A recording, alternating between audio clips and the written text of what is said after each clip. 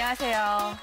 어, 저는 지금 외국계 기업에서 어, 디지털 마케팅 역할을 하고 있는 그러한 작가이기도 하면서 회사원이기도 합니다. 만나서 반갑습니다. 네.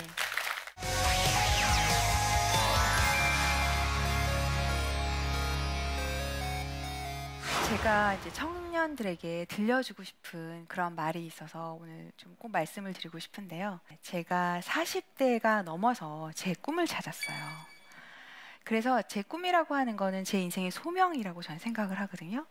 그래서 청년들에게 말을 해주고 싶은 거는 청년들이 평생 하고 싶은 자신의 소명을 찾는 것만큼 중요한 일이 없다라고 생각을 합니다. 그래서 오늘 청년들에게 말씀드리고 싶은 거는 청년들 괜찮아. 당신에게 눈부신 청춘이 있어. 그리고 당신은 그 눈부신 만큼 당신의 평생의 소명을 찾게 될 거야 라는 그런 메시지를 드리고 싶습니다. 제가 이전 회사에 있을 때 미국에서 한 2년 정도 근무한 경험이 있었거든요. 그래서 미국에 있는 실리콘밸리라 그래서 굉장히 지금도 우리나라 창업을 많이 하잖아요. 그러한 열정적인 창업가들이 모여 있는 그러한 지역이 있어요. 그런 지역에서 한국에서 투자하는 업체로 굉장히 많은 투자 자본을 가지고 갔어요. 그런데 가면 작은 스타트업들은 돈이 필요하잖아요. 그럼 저한테 잘 보여야 되잖아요. 근데 갔는데 그들이 오히려 나는 세상을 바꿀 거야. 난 세상을 변화시킬 거야. 너가 그럴 의사가 있으면 내가 너의 투자를 받아줄게. 오히려 제가 선택을 받는 입장이 된 거예요. 근데 저는 그때 그 사람들 눈에 그 열망, 그 다음에 세상을 향한 그 변화하겠다는 마음을 보면서 어, 우리나라 젊은이들은 왜 이러한 뜨거운 열정이 없을까라는 그런 아쉬운 마음이 들었었거든요. 그리고 또 이 사람들의 모습을 봤는데 이분들은 곧 빌 게이츠나 스티브 잡스가 될 사람이었어요. 빌 게이츠나 스티브 잡스도 그때 나온 그 소프트웨어라던가 그때 나온 그 맥 컴퓨터가 사실은 아무것도 아닐 수가 있잖아요. 그 당시에는. 그러나 그 사람들이 그걸 만들면 세상이 변화한 거잖아요. 그러니까 그분들이 지금 갖고 온 요만한 서비스, 이만한 제품이 세상을 바꾼다는 거예요. 근데 그게 맞던 틀리던 그 사람은 이미 그걸 확신하고 있었고 그거에 대한 강한 열정이 있었던 거예요. 그래서 제가 그때 너무 부러웠어요. 왜 우리나라에는 젊은 사람들이 세상을 바꾸겠단 말을 안 하지?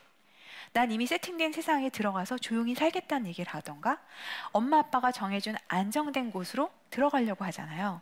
그래서 그런 걸 보면서 제가 좀 마음이 아팠던 것 같아요. 그래서 그때 질문을 통해서 그래 내가 미국에 있는 이런 좋은 시스템처럼 한국에서도 만들어서 우리나라 젊은이들도 자신의 꿈을 이룰 수 있는 그런 재단을 만들고 싶어라는 제 꿈을 설정을 한 거예요. 그래서 이 꿈을 설정하기 위해서 지금 청년들이 됐던 오늘 당장 이 강의를 듣고 해보고 싶다고 결심을 하시게 되면 중요한 거는 그동안 살아왔던 경험을 한번 정리해 보시는 게 좋아요. 그게 뭐냐면 이제 저녁에 오늘 뭐 먹을까라고 할 때 보통 냉장고를 열어보잖아요. 뭐가 있지? 그런 다음에 필요한 걸 사잖아요. 그런 것처럼 내가 그동안 쌓아왔던 내 재료가 뭔지를 한번 뜯어보는 거예요. 그랬을 때 그거와 가장 잘 연결되는 미래의 점을 그릴 수가 있는 거예요. 그래서 연결했을 때 여러분의 선이 완성이 되는 거거든요. 그래서 제가 그동안에 컴퓨터공학도 출신으로 공부도 했고 또 대기업에서 어떤 신규 사업도 했고 이렇게 미국 실리콘밸리에서 투자하는 업무도 있고 지금 외국계 회사에서 디지털 마케팅 업무도 하는데 아 이런 것들이 잘 조합이 돼서 새로운 기술과 이런 혁신적인 아이디어로 새로운 사업을 하는 사람들한테 조언을 해줄 수 있겠구나라는 그런 확신이 생겼어요. 그래서 제 꿈에 대해서 이렇게 선을 긋고 진행을 하게 됐습니다. 그래서 제가 청년분들에게도 하고 싶은 말은 그분들한테도 물론 지금 갖고 있는 재료는 적지만 그분들이 나는 장, 과연 어떤 일을 했을 때 정말 여한이 없을까라는 질문을 통해서 본인이 가고 싶은 방향을 그 시점에서 설정하는 게 필요한 것 같아요. 그래서 그거에 대한 답은 엄마가 가라 그러는 그런 좋은 회사가 아닐 수도 있고 주변 친구들이 좋다라고 가는 그런 직장이 아닐 수도 있어요. 중요한 거는 내가 여한이 없는 게 뭔지를 그때부터 찾는 질문을 하는 게 중요한 겁니다. 그런데 물론 젊은 사람 같은 경우에는 지금까지 온 게 길지가 않기 때문에 방향이 많이 틀어질 수가 있어요. 근데 저는 그것도 궁극적으로 그 당시 가서 더 좋은 방향을 찾기 위한 좋은 재료가 될 수 있다라고 생각을 하는 거거든요. 그래서 지나온 점들을 선으로 연결하는 데가 앞으로의 소명을 찾는 데 가장 중요한 방법이라고 생각을 합니다. 제가 이렇게 꿈을 찾고 나니까요. 마음이 너무 편안해지는 거예요. 그 이유가 여러분들이 이제 좋은 비행기를 타서 기장이 안내 방송을 하잖아요. 여러분, 저희 비행기에 탑승해 주셔서 감사합니다. 이 비행기는 6시간 동안 여러분을 편안하고 안전하게 모시겠습니다. 죄송하지만 근데 목적지가 어딘지 모르겠습니다. 라고 하면 여러분들 6시간 동안 발 뻗고 편안하게 쉬실 수 있으세요? 못 쉬잖아요. 하나님께서 우리한테 건강을 허락해 주셨다고 합니다. 그렇다면 제가 100살까지 산다라고 했을 때 저는 지금 40대니까 앞으로 60이라는 시간이 남았어요. 편안하고 건강하게 살 수 있다고 하나님이 말씀해 주셨어요. 그런데 나는 그 마지막 순간에 어디에 랜딩할지 모를 때는 저는 행복하지가 않은 거죠. 그래서 계속 뭔가 불안하고 무엇을 찾게 되는 거죠. 그래서 인생의 방향점을 설정한다는 것은 내가 오늘 어느 방향으로 한 발짝 나아가야 되는지에 대한 방향을 설정해 주는 거기 때문에 굉장히 중요합니다. 그래서 제가 이 방향, 인생의 나침반이 될 수 있고 내 방향을 설정하는 순간 마음이 편안해지면서 비록 아까 말씀드린 미래혁신 창업재단이라는 그 꿈을 제가 이루다가 중간에 이제 하늘나라로 갈 수 있잖아요. 그럼에도 불구하고 그걸 찾았다는 그 자체가 너무나 마음이 편안한 거예요. 왜냐하면 방향을 알기 때문에 어제보다 오늘 그 방향으로 저는 나아가는 거잖아요. 발전되는 거잖아요. 그래서 그게 하나도 내가 낭비를 하거나 방황을 하는 게 아니라 내가 원하는 방향으로 나아가는 내가 주도된 삶이라는 느낌이 있었기 때문에 마음이 편안했던 것 같아요. 그래서 청년들 같은 경우에도 물론 그 방향이 오늘은 A인가 했다 막상 가보니까 B일 수가 있습니다. 근데 저는 그게 너무 당연한 것 같아요. 우리가 여기에서 60년 뒤의 일을 미리 다 볼 수 있다는 건 거짓말이거든요. 볼 수가 없습니다. 비록 그쪽에 가야지만 그 다음에 보이는 안개가 거치고 그 다음 길이 보이는 거거든요. 그래서 지금 봤을 때 가장 내 마음에서 여한이 없이 하고 싶은 일이 뭔지를 찾고 우선 그 방향으로 나아가는 거예요. 그러다 보면 그때는 A라고 생각했던 게 A 다시로 바뀔 수가 있어요. 그러면 그때 그 그따 다시 질문을 하는 거예요. 나는 그러면 A 다시를 했을 때 정말 여한이 없을 것인가? 음. 그럼 그 방향으로 가는 겁니다. 그래서 저는 지금 현재와 제가 가야 될 방향을 선정한 순간 그 과정 자체가 그 자체가 안정적이고 굉장히 행복했어요.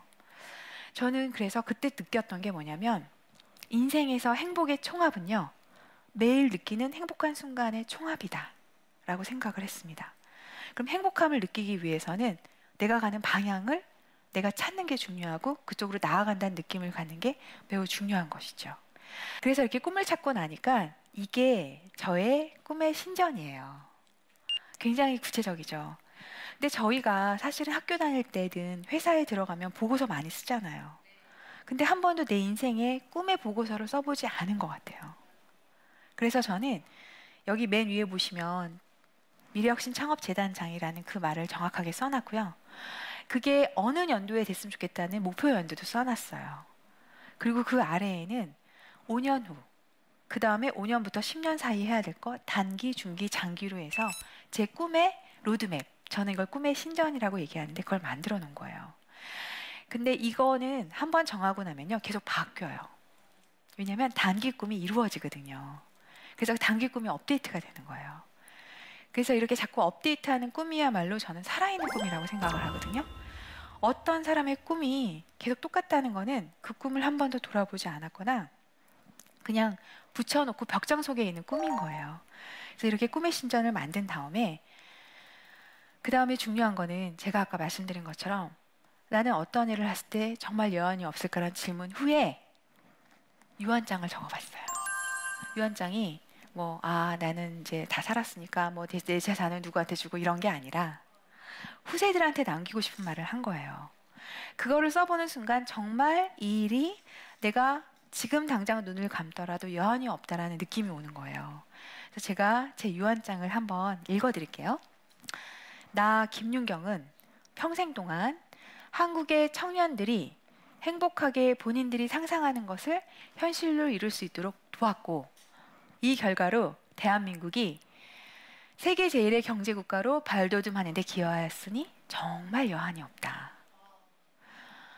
대한민국은 이제 경제와 상상력에 세계 제1위 국가로서 자만하지 말고 이러한 민족 유산을 전 세계에 전파하기를 바란다. 존경받는 국가의 대표 어머니 김윤경 남김이라고 쓴 거예요. 그러니까 갑자기 제가요. 유관순 누나 이후에 우리나라를 위해서 너무 필요한 존재 같은 느낌이 드는 거예요. 그러면서 내가 엄마가 만들어주는 세상에 우리 아이들은 어떤 직장에 들어가기 위해서 그냥 이렇게 어, 수동적인 존재가 아니라 생각하는 걸로 실리콘밸리처럼 만들 수 있는 사, 사회가 되니까 너무 아이들을 볼 때도 마음이 편안한 거예요. 그래서 제가 그 다음부터는 아 꿈을 찾는다는 거는 내 인생의 타이틀을 만드는 거구나. 그 타이틀이 원래 하나님이 나에게 주신 소명인데 내가 그걸 한 번도 명명하지 않았기 때문에 나는 오늘도 그저 그렇고 내일도 그저 그렇고 똑같은 삶을 살고 있었구나라는 느낌이 들었습니다. 그래서 지금 현재는 미래혁신 창업재단 장이지만 5년 후에는 그게 어떤 말로 바뀔지 저도 잘 모르겠어요. 하지만 방향은 제가 미국 실리콘밸리에서 봤던 그 감동처럼 우리 아이들도 나는 세상을 바꾸겠어요. 난 이 서비스 런칭을 통해서 우리나라를 더 혁신적인 나라로 만들겠어요라고 하는 그런 모습을 보고 싶은 게 제 꿈인 거예요. 이렇게 이제 유언장도 쓰고요. 또 하나 중요한 거는 아침마다 이 꿈을 향해서 나아간다라는 그 긍정적인 마인드를 저는 계속 저한테 심어주고 싶었어요.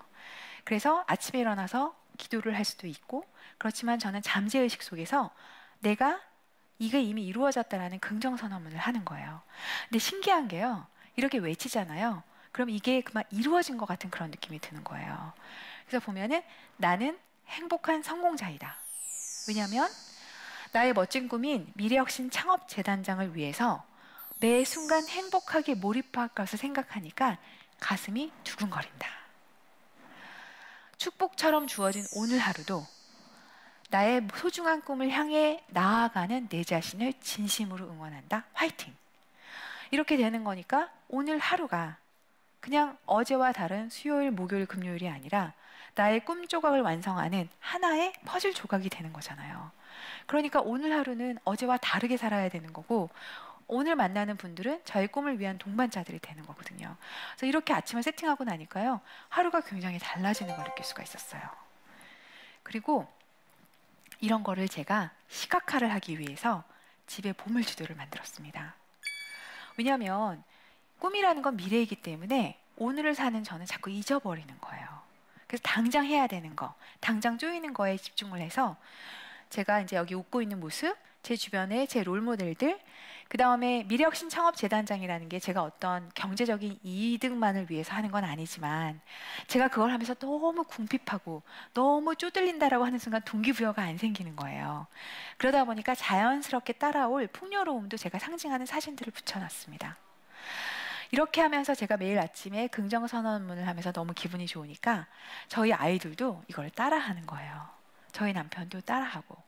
그래서 저희는 연초에 이 보물 지도를 서로 사진을 바꿔 붙이거나 새로 업데이트를 하거나 하는데 굉장히 재미있는 가족의 놀이가 되고 있어요. 그래서 근데 신기하게도 보잖아요. 그러면 여러분들이 그 방향으로 가는 걸 느낄 수가 있고요. 내가 생각했던 바대로 일이 좀 풀리는 걸 느낄 수가 있어요. 그래서 제가 청년분들에게도 자기가 생각하는 그게 뭔지를 자꾸 자기한테 다시 한번 설득하기 위해서 자기 롤 모델들 내가 만약에 CEO가 되고 싶다면 존경하는 CEO가 됐던 아니면 그 분야에 잘하는 멘토가 됐던 그분들을 붙여놓고 계속 자기의 잠재의식 속에 심어넣는 게 필요한 것입니다. 그래서 이렇게 종이 위에 계속 쓰고 시각화하고 이러면 이런 게 이루어지는데 그 원리가 궁금하시잖아요. 우리가 물론 기도를 통해서도 이루어지는데 좀 더 적극적인 방법으로 내 꿈을 향해서 저를 몰아붙이는 방법인 거거든요. 그래서 질문을 한번 드릴게요. 왜 이렇게 적고 이미지화하면 그 꿈이 왜 빨리 이루어질까요? 네, 맞습니다. 왜냐하면 자기 자신한테 계속 remind 시키는 거예요.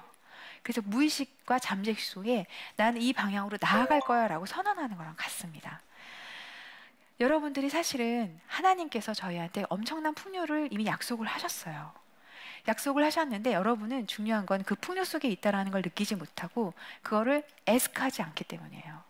그거를 에스크하고 달라라고 요청하는 것이 저는 꿈을 발견하고 그것을 선언하고 보물주도를 붙이고 잠식 속에 자꾸 각인을 시키는 거라고 저는 생각을 합니다.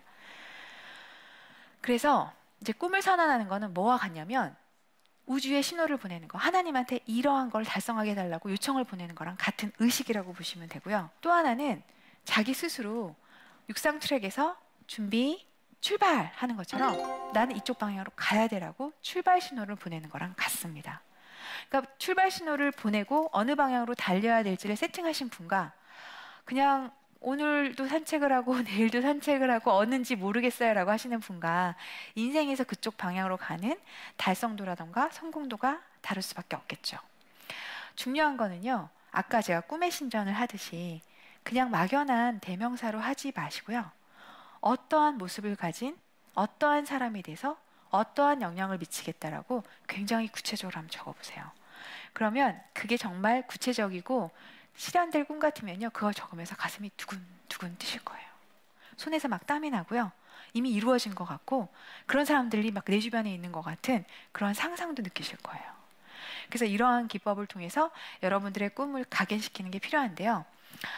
결국은 나는 이 방향으로 가고 있고 모든 게 잘 될 것이라고 선포하는 거랑 똑같고요. 그 다음에 스스로 도는 자를 돕듯이 하나님께서 그런 쪽으로 갈 수 있도록 정말 필요한 사람을 붙여주시거나 정말 필요한 기회를 잃지 않도록 눈을 뜨게 뜨고 발견할 수 있도록 도와주시는 거랑 같습니다. 그런데 아까 제가 두 가지 되게 중요한 게 있다고 말씀드렸잖아요. 두 가지 감정.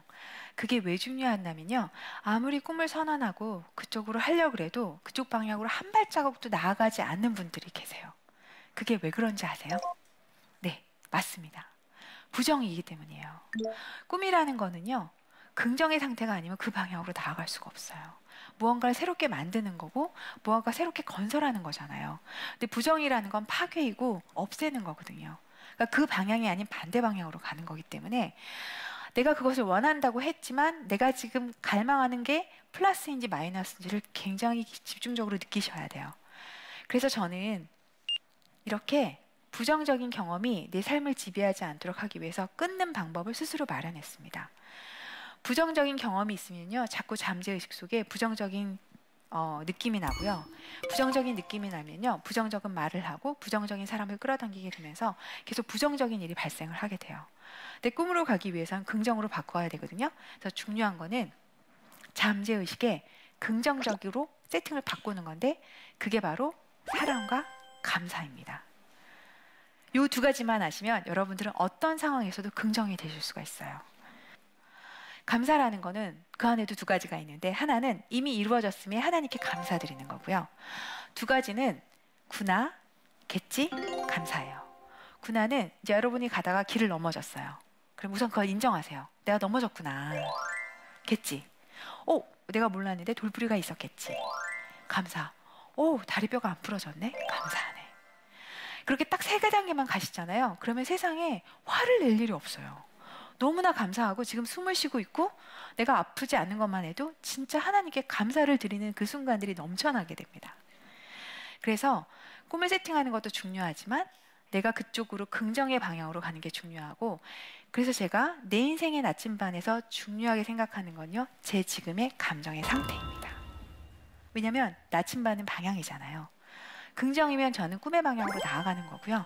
부정이면 반대 방향으로 가는 거기 때문에 내 지금의 마음 상태가 긍정인지 아닌지를 계속 물어보는 게 저는 제 인생의 나침반이에요. 그래서 이 꿈을 선언한 이후에 40대 이후에 저에게 꿈과 관련된 일들이 계속 덤벼들고 있어요. 그래서 여기 있는 것들이 꿈의 신전에 적었던 것들이 하나 둘씩 이루어지고 있는 것을 제가 말씀을 드리는 거예요. 그래서 이와 관련돼서 음, 엄마도 청년도 모두 자신의 꿈을 통해서 자기가 원하는 걸 이룰 수 있도록 하기 위해서 제가 책을 좀 출간을 했고요. 그 다음에 이렇게 이제 후배들에게 청년들에게 그 다음에 사업을 고민하는 후배, 청년 사업가들에게 비즈니스 모델을 알려주기 위해서 다양한 강연에도 나가고 있습니다. 이게 꿈을 세팅하기 전에는 있었지 않았던 일이에요. 꿈을 세팅한 이후로 그쪽으로 이미 저는 가고, 있는 거예요. 그래서 여러분들도 오늘 이후에 가장 중요한 인생의 소명 찾기. 소명을 찾을 때 가장 중요한 질문은 나는 과연 무엇을 이루었을 때 여한 없이 눈을 감을 수 있을까?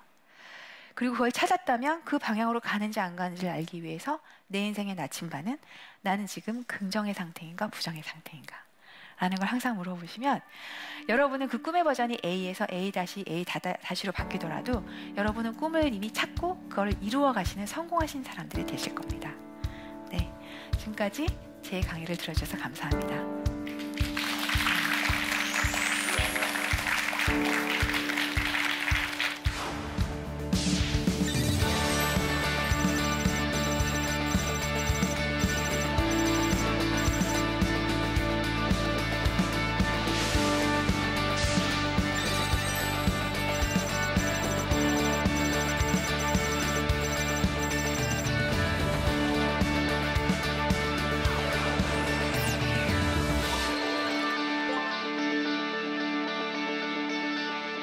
네.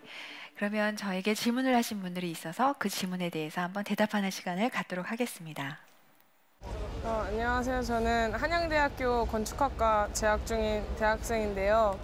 어, 방송이나 이런 강사님들께서 항상 가슴 뛰는 일을 찾으라고 많이들 말씀하시는데 구체적으로 그런 게 저한테 어떤 의미로 다가오는지 아직 잘 모르겠어서 그리고 찾아보려고 해도 잘 모르겠어서요. 그래서 가슴 뛰는 일이 어떤 일인지 좀 더 알고 싶습니다. 네. 가슴 뛰는 일이면 본인의 가슴을 딱 만져보면 알 것 같은데 그걸 질문해 주시니 제가 이렇게 가슴이 뛴다라고 말씀을 드릴 수도 없고 참 그렇긴 한데요. 중요한 거는요. 가슴이 뛴다라는 건 설레이고 기쁘고 열정적인 일이거든요. 그래서 저는 세 가지 질문을 하라라고 이제 후배들한테 얘기를 해줘요. 첫 번째는 너가 잘하는 게 뭐니? 그 다음에 왜냐하면 잘 못하는 거에서 가슴 뛰기는 쉽지 않거든요. 그 다음에 네가 좋아하는 게 뭐야? 좋아하면 그걸 열정적으로 하게 되어 있거든요. 그 다음에 하고 싶은 게 뭐야? 그래서 저는 재능과 흥미와 열정에 대해서 교집합을 찾아보라라고 질문을 하거든요. 그럼 그 세 가지가 교집합이 되면 그 일을 하는 과정에서 자기가 갖고 있던 재능도 발견하게 되고 너무 재미있어서 좋아하게 되고 앞으로도 계속 하고 싶어 하고 그러는 것 같습니다. 그래서 그렇게 답변을 드리고 싶습니다. 네. 그럼 그 다음 질문 보도록 할까요? 아무래도 이제는 한 번 취업했다고 해서 뭐 평생 직장이 아니니까 당연히 이직 같은 거를 생각을 해야 되니까 좀 그러한 것들에 대해서 좀 더 이직 같은 거 고민이 많이 될 것 같아요. 네. 어, 이직도 걱정이 되죠. 그러니까 그게 바로 인생의 방향인 것 같아요. 내가 점들을 연결해서 어느 방향이라는 걸 설정한 순간 그 이직이 그 방향에 맞으면 가는 거고요. 아니면 그 자리에서 그 다음 방향으로 맞는 거를 더 스킬을 쌓던가 역량을 쌓아야 되는 거거든요. 그래서 제가 꿈을 찾고 나니까 의사결정이 되게 명확해졌어요. 아마 예전에는 더 좋은 연봉의 제안이 들어온다던가 남들 보기에 혹해 보이는 게 왔으면 굉장히 마음이 흔들렸을 것 같아요. 그러나 저는 제가 하고 싶은 게 명확하기 때문에 그 방향으로 맞으면 그걸 선택하는 거고 그 방향이 아니면 네. 아닌 거예요. 왜냐하면 이거는 남들 보기에 와, 잘 됐다가 아니라 정말 내가 여한 없이 죽었을 때 여한 없는 일이 무엇인가라는 질문에 답을 하는 거기 때문에 어, 이직도 마찬가지로 내가 지금 가고자 하는 방향에 기반으로 해서 그 방향과 맞는지 아니면 그 방향으로 좀 더 빨리 갈 수 있는 좋은 경험의 기간인지를 질문하는 게 가장 필요한 것 같습니다. 네, 이상으로 질문에 대해서 답을 했습니다. 그럼 지금까지 저의 강의를 열심히 들어주셔서 감사하고요. 저는 이건 꼭 청춘한테만 해당되는 건 아닌 것 같아요. 젊은 사람이든 그 다음에 어느 정도 중년이 됐든 정말 내가 어떤 일을 했을 때 여한이 없이 눈을 감을 수 있을까라는 질문을 하면서 내 가슴이 뛰는 일을 하면서 즐겁게 살아가시기를 진심으로 응원합니다. 감사합니다.